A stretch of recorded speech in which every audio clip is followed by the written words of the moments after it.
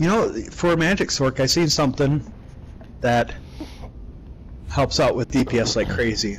Um, so like, let's say you just normally do a light attack and then liquid lightning.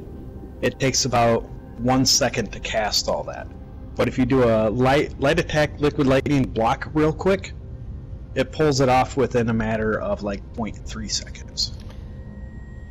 Yeah, I had my old rotation. I had the cancellations. Uh, Yeah, I all- used to do that shit. you know what I hate about it?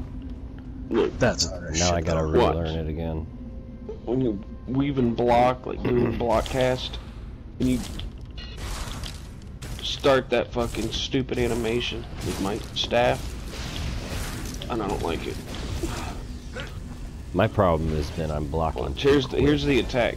I end up light attack block, quick. liquid lightning. Light attack block, liquid lightning. Light attack block, liquid lightning. No, no, no, no, no. Do do light attack, liquid lightning block. Do that. You'll get it off even faster. Watch it. Just do it real quick.